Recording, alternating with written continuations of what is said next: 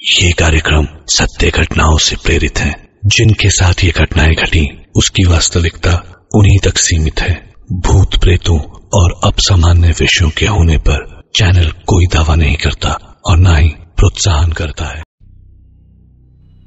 College खत्म हो गया था। दीपक अपने घर की ओर निकल गया था। तभी अचानक से उसे, उसके दोस्त ने रोक लिया। और फिर दीपक के दोस्त ने उससे बोला कि अरे भाई, याद है आज क्या स्पेशल है? दीपक सोच में पड़ गया। और फिर पाँच सेकंड सोचने के बाद दीपक ने पूछा कि, क्या भाई, क्या है आज? जिसके जवाब में दीपक के दोस्त ने बताया कि, अबे भाई, मेरा जन्मदिन है यार, मेरा बर्थडे है। यार, तू कैसे भूल जाता है यार? हर बार भूल जाता।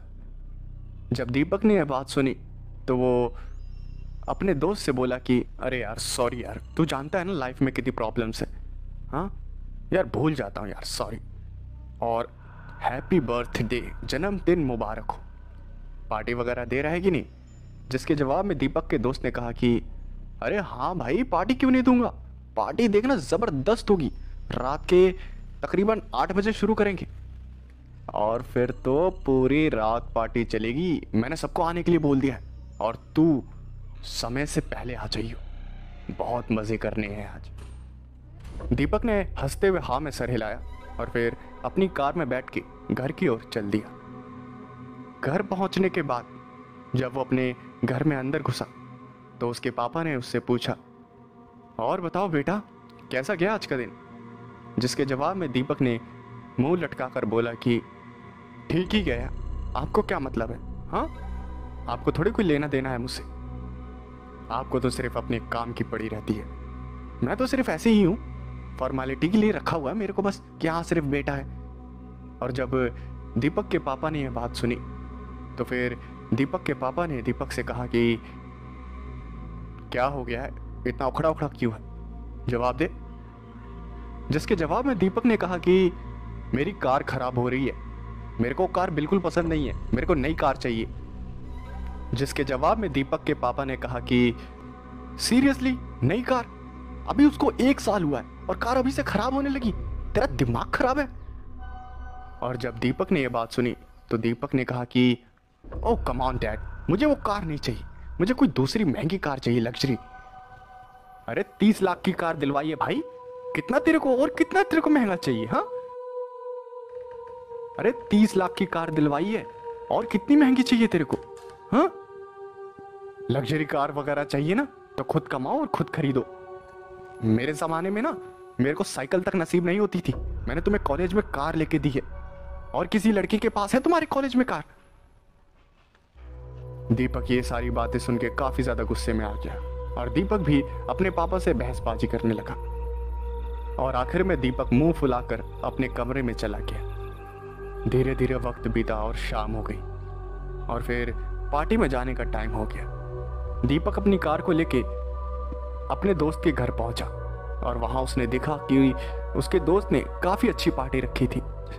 डेकोरेशन और बाकी सब कुछ बहुत अच्छा था। पार्टी में लोग एंजॉय कर रहे थे। पार्टी में दीपक अपने दोस्त को ढूँढने लगा और फिर उसे अपना दोस्त मिल गया। वो अपने दोस्त से बातें कर ही रहा था। तभी दीपक के दोस्त ने दीपक से पूछा कि, अरे, आज मेरा जन्मदिन है। ये सिर्फ़ बच्चों वाली पार्टी करेगा या कोई खतरनाक भी? बोतलें मंगाई है। बोल। खोलूं? और जब दीपक ने यह बात सुनी तो दीपक ने कहा कि नहीं यार पीना वगैरह नहीं है। हम्म, आदत पड़ जाएगी यार फिर दिक्कत हो जाएगी। जिसके जवाब में दीपक के दोस्त ने कहा कि अरे भाई कुछ नहीं होता। मैं भी तो पीता हूँ। कभी कभार मेरे को कौन सा आदत पड़ी है? तुझे भी नहीं पड़ेगी। ट्राई कर एक बार। दीपक ने मना कर दिया और फिर उसके दोस्त ने भी ज़्यादा फोर्स नहीं किया। सुबह की हुई बहस से दीपक का मूड थोड़ा थोड़ा ख़राब था, जिसे उसके दोस्त ने भाप लिया। और फिर दीपक के दोस्त ने दीपक से पूछा कि, अरे भाई, बात क्या है? मूड बड़ा ख़राब लग रहा है तेरा? जिसके जवाब में दीपक ने सुबह हुई बहस के बारे में बताया। और ये सुनकर दीपक के दोस्त ने कहा कि, अबे भाई, इतनी अच्छी कार है तेरे पास। उसमें क्या खराब है? जिसके जवाब में दीपक ने कहा कि, अबे भाई यार, नई कार लेने का मन करता है। उसमें मेरा घूमने का मन नहीं करता यार। यार, कोई बढ़िया महँगी सी लग्जरी कार हो ना, तब मज़ा है यार, क्या ये नॉर्मल सी तीस लाख रुपए की कार इसमें क्या मज़ा आएगा? जिसके जवाब में दीपक के दोस्त ने, दीपक से कहा कि हाँ भाई हाँ वक्त आने पे तू रोल्स रॉयस भी ले लेगा हाँ? लेकिन अभी फ़िलहाल थोड़ा तसली रख ले। वरना तेरे पापा ना वो कार भी छीन लेंगे और फिर तू पैदल इधर उधर घूमता फ्री हो। जिसके जवाब में दीपक ने कहा कि, बात तो सही कह रहा है। अभी जैसे तैसे काम चला लेता हूँ। जब मैं कमाऊँगा तब तो मैं महँगी से महँगी कार लूँगा। देखते ही देखते रात के साढ़े ग्यारह बज के और फिर दीपक को लगा कि अब घर चलना ही ठीक रहेगा। और जब दीपक अपने दोस्त के पास गया और अपने दोस्त से बोला कि अबे भाई यार, अब मैं घर चलता हूँ यार। अब मुझे नहीं लगता कि अब मेरी ज़रूरत है पार्टी में। तुम एंजॉय करो, तुम ड्रिंक वगैरह करो और मैं घर चलता हूँ। जिसके जवाब में दीपक के दोस्त ने कह दिया, ठीक है भाई यार, ध्यान रखियो अपना और ध्यान से जाइए दीपक अपनी कार को स्टार्ट करके अपने घर की तरफ़ निकल गया। रात के अंधेरे में दीपक अपने घर की ओर बढ़ रहा था कार में बैठकर। सफ़र के दौरान तभी अचानक से दीपक की कार में कोई खराबी आ गई और खराबी एक ऐसी जगह पर आई थी जो जगह पूरी तरह से वीरान थी और वहाँ पर ढेर सारे पेड़ पौधे और जंगली एरिया था। और जैसे ही दीपक की कार अपने आप रुक गई तो दीपक ने कार को कोसते हुए कहा कि, ये कैसी घटिया कार है। इतनी रात अंधेरी में पता नहीं कैसे खराब हो गई। दीपक कार से उतरा। और कार को चेक करने लगा, लेकिन उसके समझ में कुछ भी नहीं आ रहा था। उसने बार बार कार को चालू करने की कोशिश की, लेकिन कार जो है, वो स्टार्ट नहीं हो रही थी। वो कार को फिर से चेक करने के लिए कार से बाहर निकला।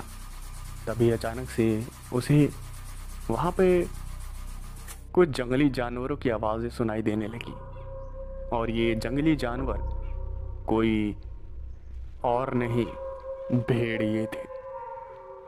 भेड़ियों की आवाज़ सुनकर दीपक डर गया और अपनी कार में बैठ गया।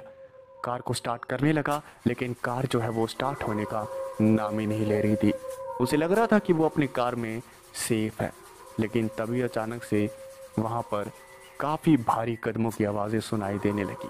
जैसे कोई भारी भरकम राक्षस वहाँ पर आ रहा हो। दीपक ने अपने आसपास देखा तो अंधेरे में कई सारी आँखें चमक रही थी। और तभी उस अंधेरे जंगल से एक आठ फुट का भेड़िया मानव निकला और उसने कार पे हमला कर दिया। उसके हमले इतने ज़्यादा ताकतवर थे कि कार को काफ़ी नुकसान पहुँचा रहे थे और दीपक बार बार कार को स्टार्ट करने की कोशिश कर रहा था और एक बार कार स्टार्ट हो गई। दीपक ने पूरी रफ्तार के साथ कार को वहाँ से भगाया। लेकिन उस मानव भेड़िए के वार से कार में काफ़ी ज़्यादा खराबी आ गई थी, जिसकी वजह से दीपक के कंट्रोल में कार नहीं आ पा रही थी, और वही हुआ जिसका डर था। एक काफ़ी खतरनाक एक्सीडेंट टक्कर होते ही दीपक बेहोश हो गया, और उसे चारों तरफ़ सिर्फ़ भेड़ियों की आवाज़ें सुनाई देने लगी।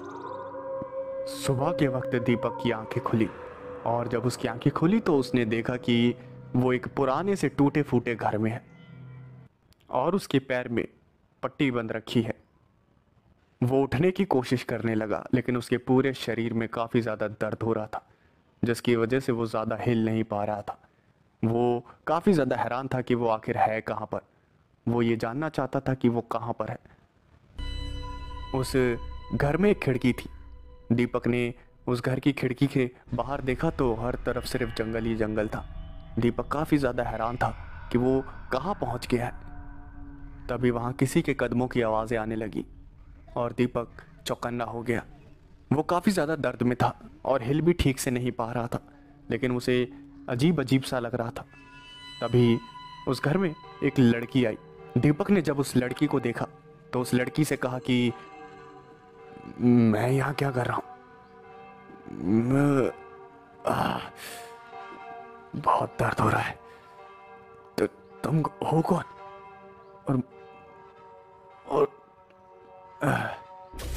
और जब उस लड़की ने सारी बातें सुनी तो उस लड़की ने बताया कि तुम मुझे जंगल के बाहर वाले रोड पर मिले।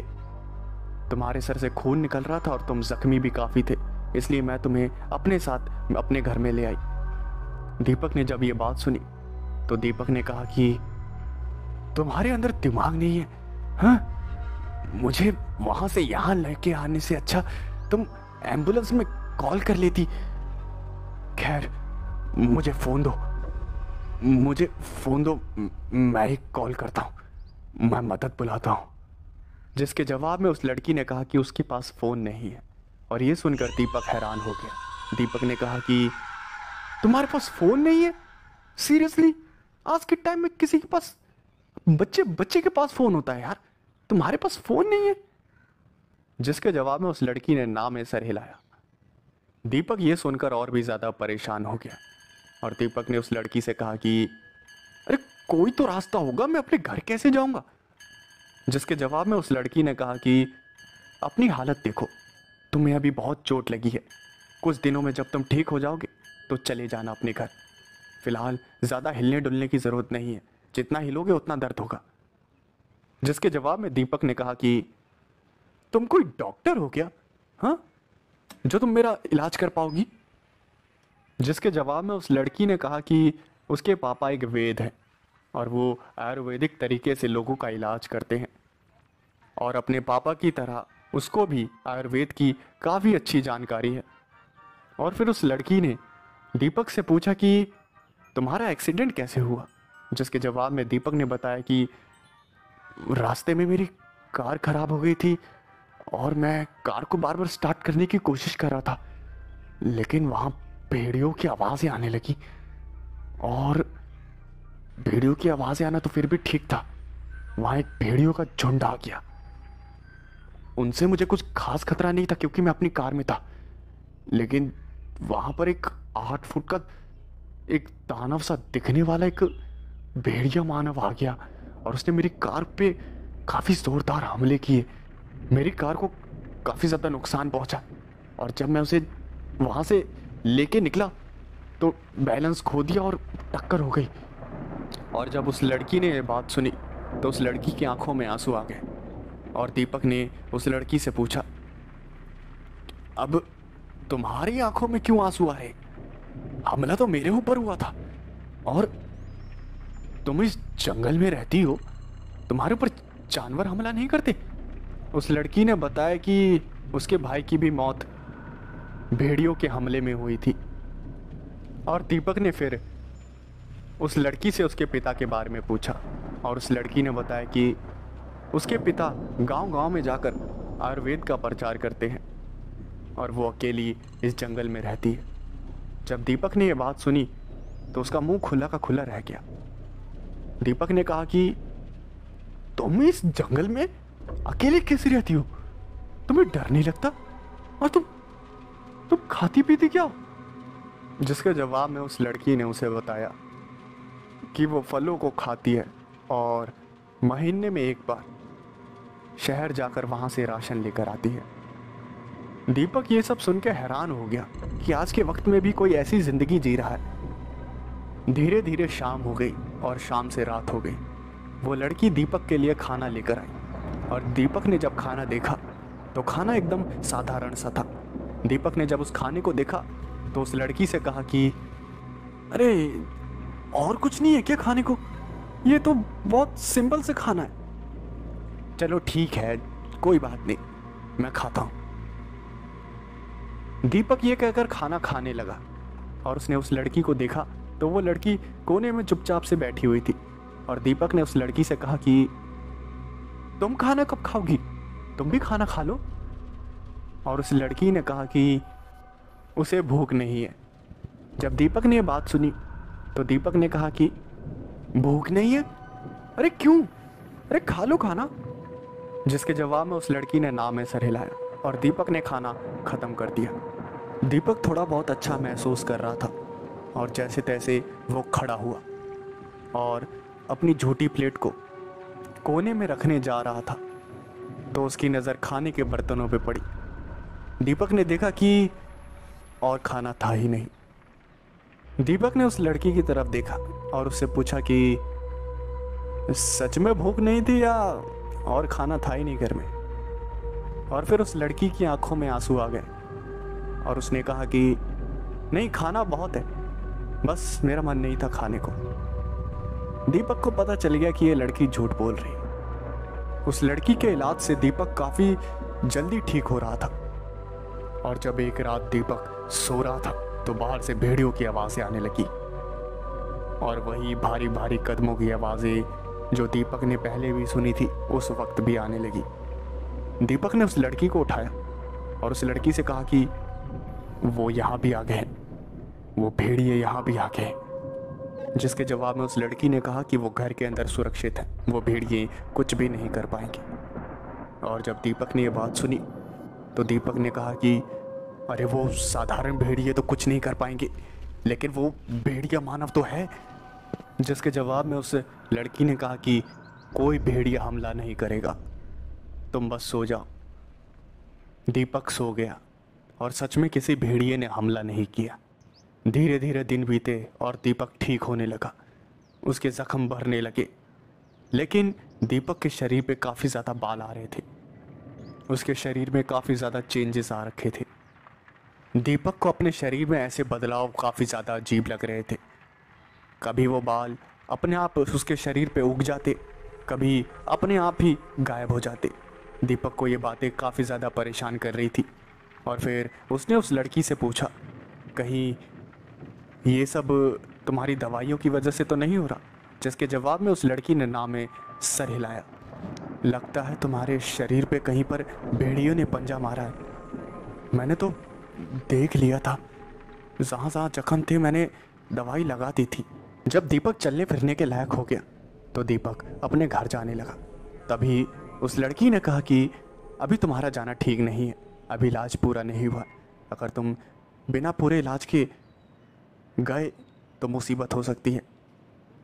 और फिर दीपक वहीं पर रुक गया। रात हुई।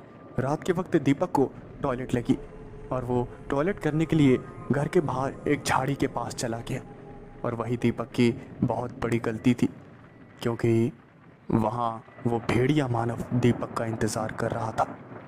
उस भेड़िया मानव ने दीपक के ऊपर हमला कर दिया और वहाँ पर गुर्राने की काफ़ी तेज़ तेज़ आवाज़ें सुनाई देने लगी। उस लड़की की भी आँखें खुली तो वो भागती हुई घर के बाहर गई तो उसने देखा कि दीपक को उस भेड़िए मानव ने अपने एक हाथ से आसमान में उठा रखा था। और वो भेड़िया मानव, दीपक की जान अपने एक पंजे के हमले से लेने ही वाला था। उससे पहले दीपक काफ़ी ज़ोर से चिल्लाने लगा, जैसे उसकी जान निकलने वाली है। उस भेड़िए ने दीपक पे ज़्यादा हमला नहीं किया था, लेकिन वो फिर भी चिल्ला रहा था। और चिल्लाते चिल्लाते उसका रूप बदलने लगा। उसके जो शरीर के बाल थे, वो तेज़ी से बढ़ने लगे। और वो धीरे धीरे करके एक भेड़िए मानव में तब्दील हो गया।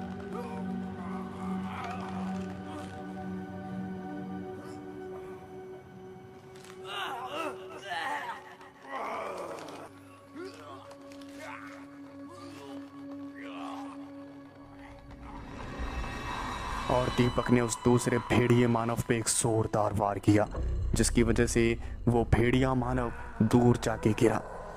दीपक ने अपनी हालत देखी तो उसे यकीन नहीं हो रहा था कि आखिर ये क्या हो रहा है। दीपक भी अब एक भेड़िया मानव बन गया था। उस भेड़िया मानव में और दीपक में काफ़ी भयंकर लड़ाई हुई।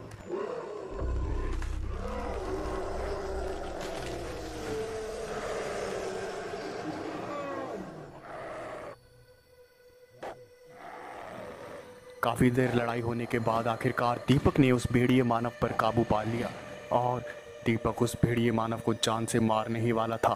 तभी वो लड़की दीपक के सामने रोने लगी और उस लड़की ने दीपक से उस भेड़िए मानव को छोड़ देने की मिन्नतें करने लगी।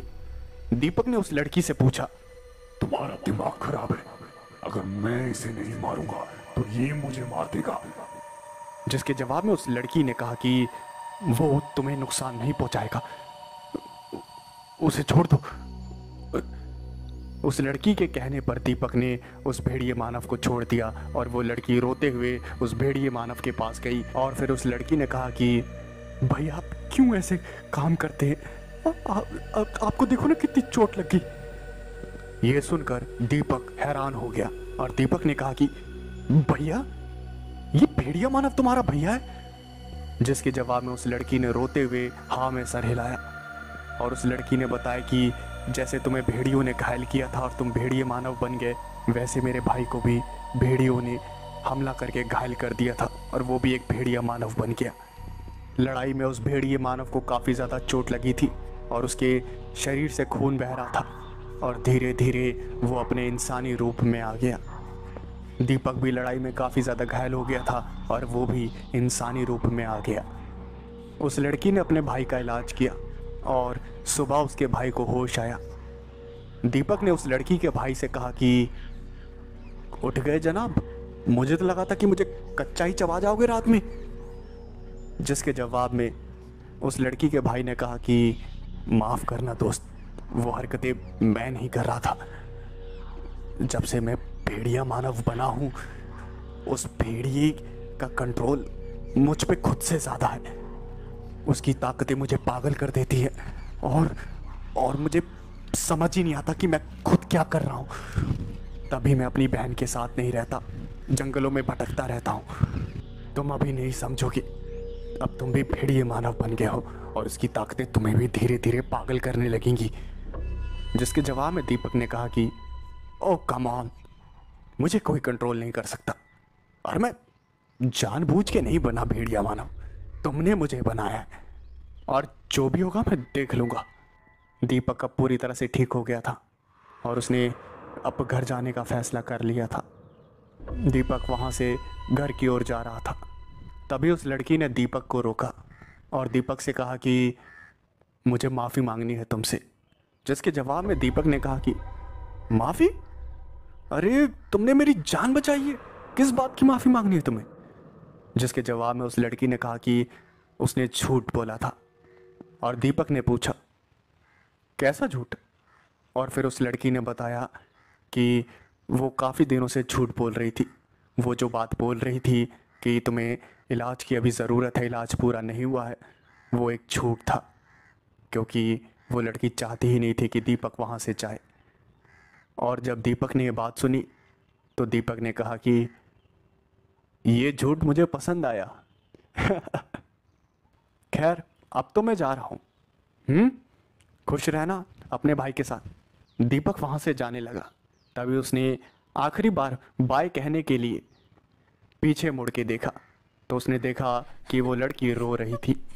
उसकी आँखों से आँसू बह रहे थे। और फिर दीपक ने कहा कि अब इन आंसुओं को मैं क्या समझू? हाँ? ज़िंदगी भर मेरे साथ रहना चाहती हो? जिसके जवाब में उस लड़की ने रोते हुए हाँ कहा। और फिर दीपक ने कहा कि, अपने भाई से तो पूछ लो। कहीं रात में मुझे कच्चा चबा जाए। और फिर उस लड़की के भाई ने कहा कि, मुझे कोई एतराज़ नहीं है। तुम बहुत दिल के अच्छे इंसान हो। तुम चाहते तो उसी रात मुझे मार सकते थे, लेकिन मेरी बहन के कहने पे तुमने मुझे नहीं मारा। पता चलता है कि तुम कितने अच्छे हो। मुझे इस रिश्ते से कोई एतराज़ नहीं है। तो फिर दीपक ने कहा कि तो मेरी बात सुनो। हम तीनों यहाँ से चलते हैं, ठीक है? मेरे दिमाग में एक बिज़नेस है। जीजा साला दोनों मिलकर चलाएँगे, दोनों करोड़पति बनेंगे। क्या कहते हो? चलो चलते हैं, तीनों चलते हैं। इस जंगल की ज़िंदगी को अब छोड़ दो, अब बाहर की ज़िंदगी भी देखो। ये बात सुन के वो लड़की और उसका भाई हंसने लगे।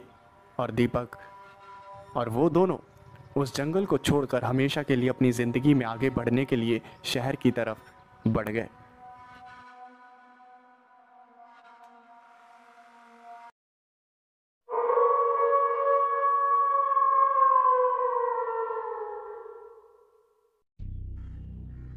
मार्क तकरीबन एक महीने की छुट्टी बिताने के बाद अपनी ड्यूटी पर वापस आया था।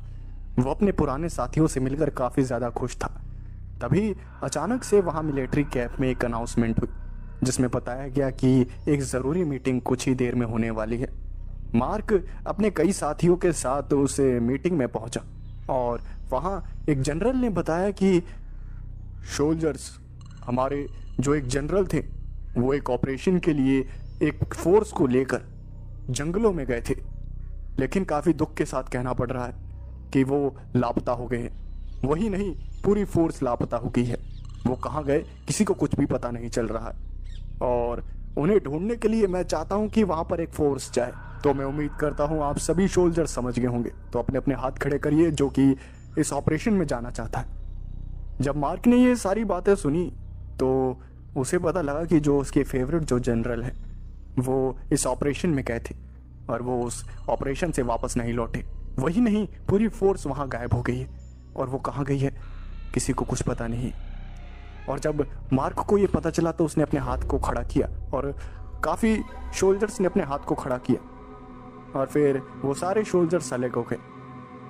और वहाँ जो मीटिंग में जो जनरल था, उसने कहा कि, मैं काफ़ी खुश हूँ कि आप में से इतने लोग वहाँ जाने के लिए तैयार हैं। ये ऑपरेशन बहुत ही खतरनाक है। तो मैं उम्मीद करता हूँ आप सभी उन खतरों का सामना कर पाएँगे। वो जो जंगल है, वहाँ पर कई सारे जंगली जानवर पाए जाते हैं और वहाँ खतरों की कोई कमी नहीं है। मैं, आप सभी को, आप जितने भी सोल्जर्स उस ऑपरेशन में जा रहे हैं, हमारे जनरल को लेने के लिए, मैं आप सभी को आधुनिक हथियार मुहैया कराऊँगा। और मैं उम्मीद करता हूँ कि आप हमें निराश नहीं करेंगे और हमारे जनरल को लेकर आएँगे। तो अभी से तैयारी कर लीजिए। कल सुबह आप उस जंगल में जा रहे हैं। सारे शोल्जर्स तैयार होने लगे, अपने सामान को पैक करने लगे। और फिर तभी अचानक से फैसला लिया गया कि सुबह नहीं, रात के दो ही बजे उस जंगल में जाया जाएगा। सारे सोल्जर्स लगभग तैयारी थे। सबने पैकिंग वगैरह कर ली थी। तो सारे सोल्जर्स निकलने के लिए तैयार हो गए। उन सबको एक प्लेन में बैठाया गया और उस जंगल के ऊपर उस प्लेन को ले जाया गया। और वहाँ से सारे सोल्जर एयर ड्रॉप हो गए। सारे सोल्जर पैराशूट के ज़रिए उस जंगल में उतरे और आसपास के माहौल का मुआयना लेने लगे। हर तरफ़ सिर्फ़ अंधेरा था और जंगल दिखने में काफ़ी ज़्यादा डरावना था, जो कि होता ही है लगभग। दिन के वक्त जितना जंगल खूबसूरत दिखाई देता है, रात में उतना ही ज़्यादा डरावना हो जाता है। और इस बात का अनुभव वो सारे फौजी अच्छी तरह से कर रहे थे। वो सारे धीरे धीरे कदम बढ़ाकर वहाँ पर घूम रहे थे। उन्हें कुछ भी पता नहीं था कि इतने बड़े जंगल में उनके जो जनरल है वो कहाँ गए हैं।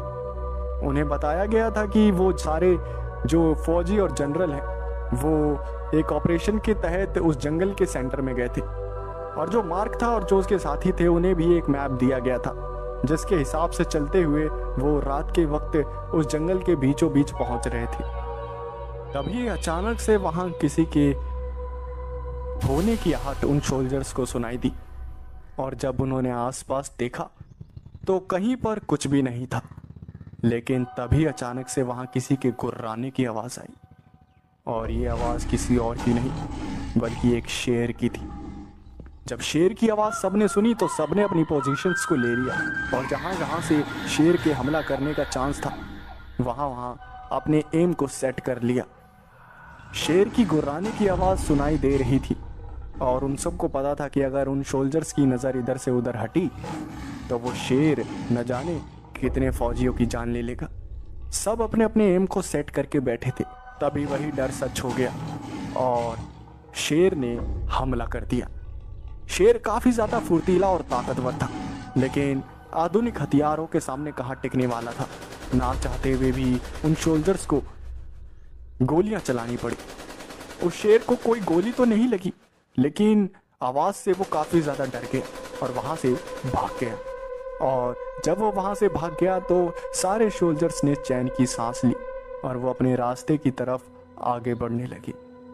और जब वो आगे बढ़ रहे थे, तभी अचानक से उन्हें ज़मीन पर बंदूक मिली, जो कि काफ़ी हाईटेक एडवांस थी।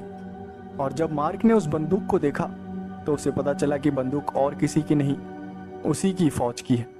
इसका मतलब जो पहले जो टीम आई थी, वो यहीं कहीं गायब हो गई है।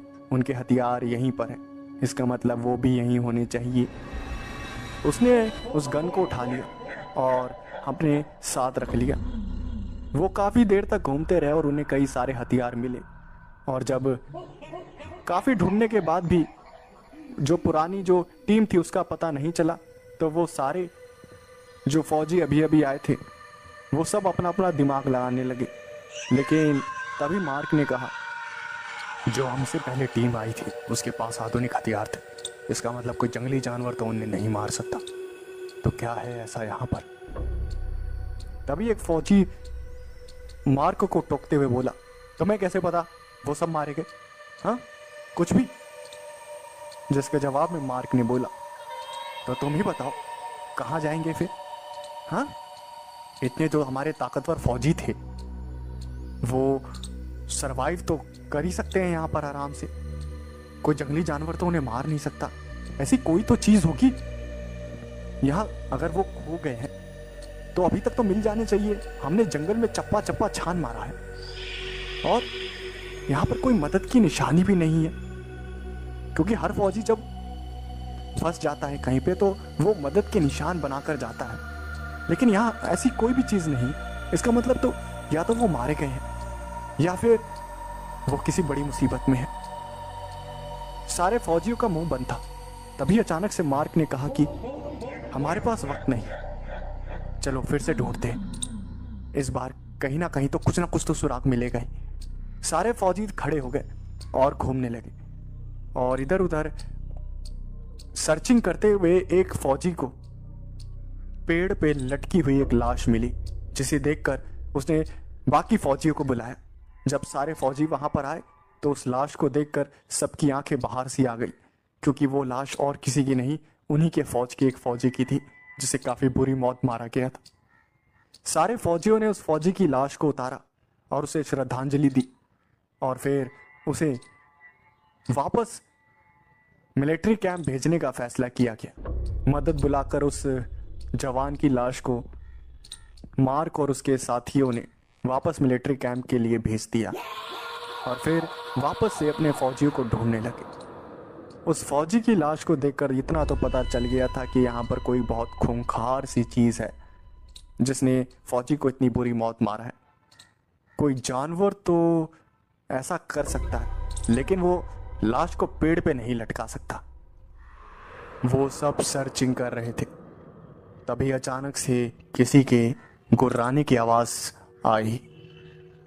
सारे फौजी वापस से तैयार हो गए, लेकिन इस बार खतरा बड़ा था, क्योंकि एक नहीं, कई सारे दुश्मन आए थे, और वो दुश्मन खूंखार होने के साथ साथ आदमखोर भी थे। वहाँ पर एक पूरा भेड़ियों का झुंड था, जो कि जब सोल्जर्स ने आसपास देखा तो कई सारे भेड़ियों ने उन्हें घेर रखा था और सारे भेड़ियों की आँखें चमक रही थी अंधेरे में। सारे सोल्जर्स ने अपने एम को पॉइंट कर लिया और भेड़िए उन पर हमला करे और भेड़िए उन पर हमला करे। उससे पहले ही वहाँ पर अंधाधुंध गोलियाँ चली, जिसमें कई सारे भेड़िए घायल हो गए और कई वहाँ से भाग गए। सोल्जर्स ने चैन की सांस ली उन भेड़ियों को भगाने के बाद, लेकिन खतरा भी टला नहीं था। उन्हें एक बड़े से पेड़ पे से एक आवाज़ आई। उस पेड़ पे कुछ था और वो पेड़ अपने आप हिलने लगा, जिसे देखकर सारे फौजियों ने वहाँ पर एम को टारगेट कर दिया। और तभी उस पेड़ से एक आठ फुट का भेड़िया मानव कूदा। भेड़िया मानव कूदा, जो कि इतना ज़्यादा भयानक था देखने में कि पूछो ही मत। उन सारे फौजियों ने उस भेड़िया मानव पे इतनी गोलियाँ चलाई कि वो भेड़िया मानव ज़मीन पर गिर गया। वो घायल तो हो गया था, लेकिन अभी भी बहुत ज़्यादा खतरनाक था। वो घायल तो हो गया था, लेकिन तभी अचानक से उसने वहाँ एक हाउल किया और कम से कम पाँच भेड़िए वहाँ आ गए। और वो पाँच भेड़िए आम नहीं थे, सब के सब भेड़िया मानव थे और सबने फौजियों को घेर लिया। और फिर शुरू हुई वॉर। पाँच भेड़िया मानव और बहादुर फौजियों के बीच। उन सब में काफ़ी खतरनाक लड़ाई हुई। गोलियाँ इतनी चली कि पूछो ही मत। गोलियाँ चलने की आवाज़ से सारे जानवर जितने भी थे जंगल में सब इधर से उधर भागने लगे। गोली चलने की आवाज़ से पूरा जंगल गूंज उठा। हर जगह सिर्फ़ तबाही मच रही थी। सारे फौजी कवर लेकर उन भेड़ियों पे गोलियाँ चला रहे थे, लेकिन वो भेड़िए काफ़ी ज़्यादा खतरनाक और भयानक थे। उन्होंने कई सारे फौजियों को घायल कर दिया, और जब फौजी कमज़ोर पड़ने लगे तो उन्होंने फैसला किया कि यहाँ से निकलना पड़ेगा। उनमें से एक फौजी ने एक ग्रेनेड को निकाला और उन वेयर के ऊपर फेंक दिया, और वो जो वेयर थे, एक्सप्लोजन की वजह से थोड़ी देर के लिए शांत हो गए, और सारे फौजी वहाँ से थोड़ी देर के लिए भाग गए। जो फौजी घायल थे, उनकी हालत खराब हुई जा रही थी। वो जो भेड़िए थे, वो एक्सप्लोजन की वजह से कुछ देर के लिए शांत तो हो गए थे। लेकिन वो सोल्जर्स को छोड़ने नहीं वाले थे, क्योंकि गोली की वजह से एक भेड़िया मानव मारा गया था। और जो बाकी भेड़िए मानव थे, जो कि घायल थे, लेकिन उनके अंदर बदले की आग जल रही थी, और वो सारे सोल्जर्स को मारकर बदला लेना चाहते थे। सारे सोल्जर्स एक अंधेरी सी जगह पर छुपे हुए थे और अपने जो घायल सैनिक थे, उनकी मदद कर रहे थे। और जो बाकी के जो सोल्जर थे, वो खड़े थे। निगरानी कर रहे थे कि वो भेड़िए वापस ना आ जाए। सबके हाथों में बंदूक थी, लेकिन गोलियाँ काफ़ी ज़्यादा चली थी, जिसकी वजह से गोलियों की कमी आ गई थी। और ये सबसे ज़्यादा भयानक बात थी, क्योंकि अगर गोलियाँ ख़त्म हो गई तो फिर हाथों से लड़ना नामुमकिन सा हो जाएगा। क्योंकि वो भेड़िए मानव काफ़ी ज़्यादा ताकत को कैरी करते हैं एज कंपेयर टू ह्यूमन और वो आसानी से सोल्जर्स को मार सकते हैं। मार्क काफ़ी ज़्यादा सोच में पड़ गया था कि आखिर क्या किया जाए। तभी अचानक से सारे सोल्जर्स को किसी के कर्राने की दर्द से कर्राने की आवाज़ सुनाई थी। और जब सोल्जर्स ने वहाँ देखा तो उन्होंने जो देखा, उसे देखकर वो सारे हैरान हो गए। उन्होंने देखा कि जिस जनरल को वो ढूँढने के लिए वहाँ गए थे, वो जनरल घायल हालत में उस अंधेरे कोने में पड़ा हुआ था और दर्द से कर रहा रहा था। जब सारे सोल्जर्स ने उन्हें देखा तो सबके दिल में खुशी तो थी, लेकिन अपने कमांडर के लिए उससे ज़्यादा टेंशन थी, क्योंकि कमांडर की हालत कई ज़्यादा ख़राब थी। वो घायल थे, उनके बॉडी से खून बह रहा था, और जब सोल्जर्स ने उनकी ये हालत देखी तो वो काफ़ी ज़्यादा घबरा गए। उन्होंने अपने कमांडर से कहा कि आपकी हालत किसने की? जिसके जवाब में उस कमांडर ने जवाब दिया, इस जंगल में। आम जानवरों के अलावा भी कई सारे जानवर हैं। भेड़िए मानव घूम रहे हैं इस जंगल में। मैं एक ऑपरेशन के लिए आया था इधर, लेकिन उन आदमखोर भेड़ियों ने पूरी फोर्स को मार दिया। और मैं अकेला यहाँ पर घायल पड़ा हुआ हूँ। मार्क के पास कोई दूसरा रास्ता नहीं था। मार्क ने जो कमांड सेंटर था, वहाँ से कांटेक्ट करने की कोशिश की। मार्क ने कमांड सेंटर से कांटेक्ट करने की कोशिश की और वहाँ पर एक एरोप्लेन मंगवाया। एरोप्लेन आने में काफ़ी ज़्यादा टाइम लग रहा था। तकरीबन चार से पाँच घंटे लगे जाते। तब तक सारे फौजियों को सरवाइव करना था। कई फौजी घायल पड़े हुए थे, वो लड़ नहीं सकते थे और जो लड़ सकते थे, उनके पास गोलियों की कमी थी। खतरा कई ज़्यादा था और उससे भी खतरनाक वो भेड़िए थे और वही हुआ जिसका डर था। चारों तरफ़ वापस से भेड़ियों का आतंक शुरू हो गया और वो भेड़िए मानव आ गए वापस से शोल्जर से बदला लेने के लिए। सारे भेड़िए मानव को देखकर सारे शोल्जर्स ने अपनी गन्स को उठा लिया। और घायल सैनिकों को प्रोटेक्ट करने के लिए उनके चारों तरफ़ घेरा बना लिया। सारे सोल्जर्स एक एक करके हर भेड़िए मानव को गोली से भूनने लगे। लेकिन वो भेड़िए मानव भी काफ़ी ज़्यादा खतरनाक थे। उन्होंने कई सारे और शोल्डर्स को घायल कर दिया। लेकिन खतरनाक वक्त तो तब शुरू हुआ जब जो घायल सैनिक थे, वो भी धीरे धीरे करके भेड़िया बनने लगी। और जब शोल्डर्स को पता लगा कि वो भी अब भेड़िए मानव बन जाएँगे तो उन्होंने अपने आप को गोली मार ली। और ये सब देखकर मार्क काफ़ी ज़्यादा घबरा के वो मना कर रहा था अपने फौजियों को, अपने आप को गोली मारने के लिए, लेकिन वो सब नहीं मान रहे थे, क्योंकि उन्हें पता था कि अगर वो खुद को नहीं मारेंगे तो वो भेड़िया बनने के बाद अपने ही लोगों को मार देंगे। सबने अपने आप को गोली मार ली जो जो भेड़िए जो जो फौजी वहाँ घायल हुए थे, और लड़ाई चलती रही। कई फौजी मारे गए। और आखिर में वही हुआ जो बाकी घायल फौजियों के साथ हुआ था। वो जो आखिरी का कमांडर था जिसे बचाने के लिए सारे फौजी आए थे, वो भी भेड़िया मानव बनने लगा। और उस कमांडर ने भी खुद को गोली मार ली। गिनती के अब सिर्फ़ तीन फौजी बचे हुए थे, मार्क और उसके दो साथी। वो लड़ रहे थे और आखिरी सांस तक लड़ने वाले थे। उन्हें अपने साथियों का बदला लेना था। और उन तीनों ने काफ़ी लंबे समय तक लड़ाई करी। और फिर उनके पास जब कोई रास्ता नहीं बचा तो उन तीनों ने ग्रेनेड्स को निकाला और उन ग्रेनेड्स की पिन को खींचकर उन भेड़ियों के ऊपर फेंक दिया, जिसकी वजह से काफ़ी बड़ा एक्सप्लोजन हुआ। तीन ग्रेनेड एक साथ फटे थे और उस एक्सप्लोजन में वो सोल्जर्स भी काफ़ी ज़्यादा घायल हो गए थे और वो भेड़िए मानव सुन्न पड़ गए थे।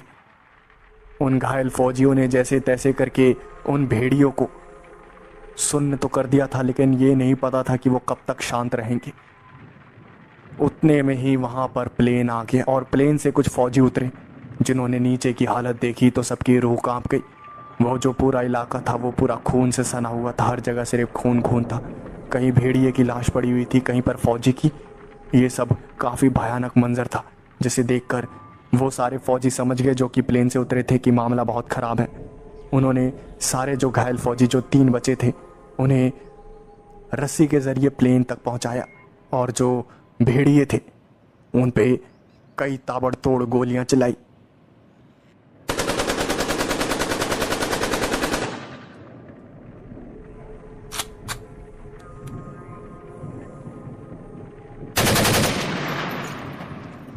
जिसकी वजह से वो भेड़िए मारे गए।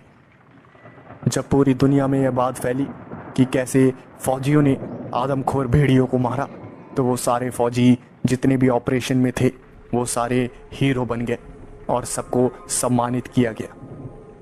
मार्क को भी प्रमोशन दे दिया गया और उसके दो साथियों को भी। लेकिन वो जो लड़ाई थी, वो जो युद्ध था, उन भेड़िए मानवों के साथ में, उस युद्ध ने मार्क और उसके दो साथियों को युद्ध का असली मतलब सिखाया था कि अगर युद्ध हो जाए और दुश्मन आपसे ज़्यादा ताकतवर हो तो आपको हार नहीं माननी है। आपको अपनी आखिरी सांस तक लड़ाई करनी है। या तो आपको मरना है, या तो आपको मारना है। और इसी स्ट्रैटेजी के तहत आज मार्क काफ़ी बड़ी पोस्ट पर है। लेकिन जब भी उससे पूछा जाता है कि आपने अपनी ज़िंदगी में सबसे बड़ा काम क्या किया है? तो वो गर्व से कहता है, मैंने भेड़िए मानवों को मारा है और अपने मरे हुए फौजियों का बदला लिया है।